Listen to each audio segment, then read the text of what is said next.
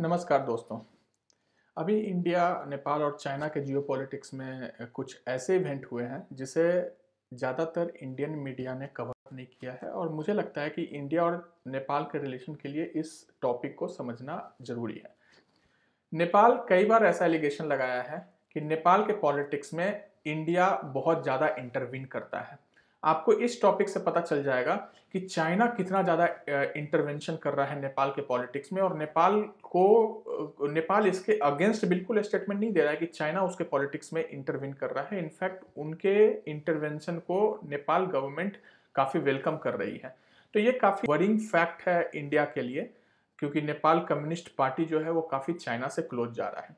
तो हम इस टॉपिक में डिटेल में देखते हैं कि ये पूरा क्या हुआ है इवेंट्स तो आप देख सकते हैं ये कुछ न्यूज़ आर्टिकल में कि नेपाल की गवर्नमेंट जो माइनॉरिटी में आने वाली थी, जो जिस पार्टी की गवर्नमेंट है, वहाँ पे कम्युनिस्ट पार्टी की, वो टूटने वाली थी, उसे चाइनीज़ इन्वॉय ने सीरीज़ ऑफ़ मीटिंग करते हुए उस गवर्नमेंट को बचा लेती है।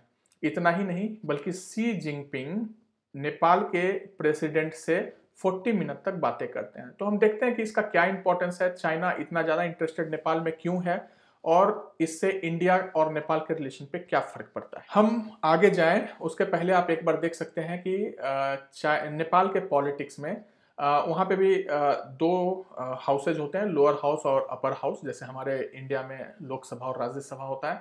तो लोअर हाउस और अपर हाउस दोनों में ही नेपाल के कम्युनिस्ट पार्टी का बहुत ही ज़्यादा मेजोरिटी है। आप देख सकते हैं कि लोअर हाउस में ऑलमोस्ट 63 परसेंट मेजोरिटी है और अपर हाउस में अराउंड 84 परसेंट मेजोरिटी है।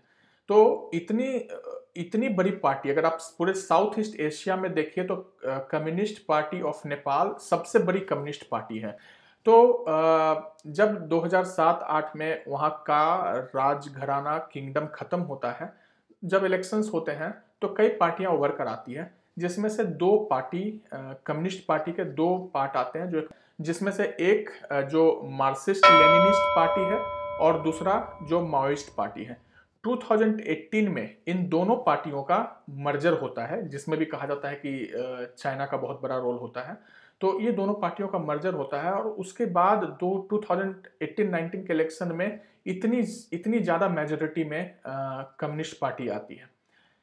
अब बात है कि चाइना क्या इसमें किया है। तो हम देखते हैं कि रिसेंटली कुछ पंद्रह दिन पहले जो दोनों पार्टियों का मर्जर हुआ था, उसमें जब भी दो पार्टियों का मर्जर होता है तो दो थोड़े पावर रेस स्टार्ट हो जाते हैं और उनमें रिफ्ट होता है। तो ऐसा ही देखा गया कि वहाँ पे भी रिफ्ट होती है। और इस रिफ्ट के दौरान जो चाइना के इन्वॉय हैं, चाइना के एम्बेसडर हैं नेपाल में, होई युआनची, ये सीरीज़ ऑफ़ मीटिंग करते हैं सारे पार्टी मेंबर्स के साथ, जिनको कंसर्न है उन लोगों के साथ। ऐसे लग रहा है कि ये उनकी कंट्री है और वो पार्टी को लीड कर रहे हैं। ऐसा चाइना ने कभी नहीं किया था कि बिल्कुल पब्लिकली वो काफ़ी मीटिंग कर रहा है और किसी कंट्री के पॉलिटिक्स को इन्फ्लुएंस कर रहा है। तो काफ़ी सीरीज़ ऑफ़ मीटिंग करते हैं, सबका कंसर्न समझते हैं और इसमें भी कोई दो मत नहीं है कि जैसे इंडिया में भी विधायकों का खरीद फरोख्त होते हुए कई बार पाया गया है तो इसमें भी कोई दो मत नहीं है कि चाइना लोगों के कंसर्न को रिजॉल्व करने के लिए पैसे भी खर्च की होगी। लेकिन ऑब्वियसली वो बातें मीडिया में बहुत जल्दी नहीं आती है, हो सकता है बाद में आए या ना आए। लेकिन सीरीज़ ऑफ़ मीटिंग करती है और मीटिंग करने के बाद ये इंश्योर करती है कि के पी ओली की सरकार वहाँ बनी रहेगी। इतना ही नहीं चाइना ऑफिशियली स्टेटमेंट इशू करता है कि के पी ओली काफ़ी अच्छा गवर्न गवर्नमेंट चला रहे हैं और चाइना चाहती है कि वो गवर्नमेंट को कंटिन्यू करें। चाइना के प्रेसिडेंट शी जिनपिंग नेपाल के प्रेसिडेंट विद्या देवी भंडारी से 40 मिनट तक बातें करते हैं, जिसमें ऑब्वियसली उनका अभी रिसेंटली किडनी ट्रांसप्लांट हुआ है, उसके बारे में बातें करते हैं और और नेपाल के पॉलिटिक्स के बारे में बातें करते हैं और फिर ये ऑफिशियल स्टेटमेंट आता है कि चाइना केपी गोली को समर्थन करता है। बात है कि चाइना इतना ज़्यादा इंटरवेन नेपाल के पॉलिटिक्स में क्यों कर रहा है? इसके कई सारे कारण हैं।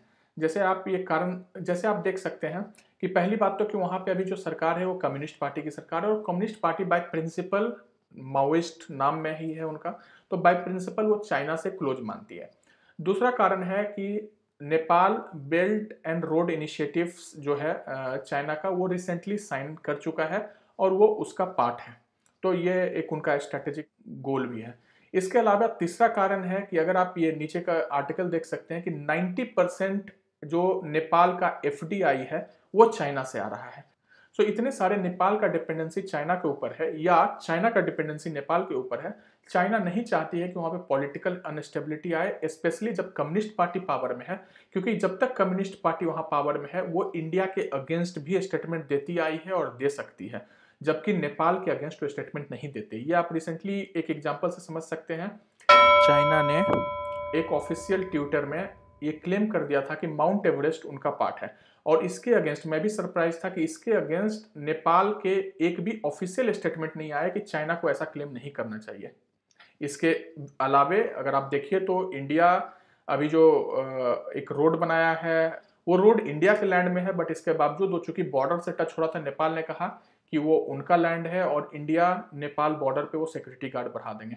तो ये रिसेंटली देखा जा रहा है कि काफ़ी ज़्यादा नेपाल की तरफ़ से एंटी इंडिया स्टेटमेंट्स आ रहे हैं, लेकिन चाइना के अगेंस्ट वो कोई भी स्टेटमेंट नहीं दे रहा है। तो ये था इस टॉपिक का एनालिसिस होप आपको ये टॉपिक समझ में आए होंगे। आप अपना फीडबैक कमेंट में लिखकर ज़रूर बताएँ। अभी के लिए धन्यवाद।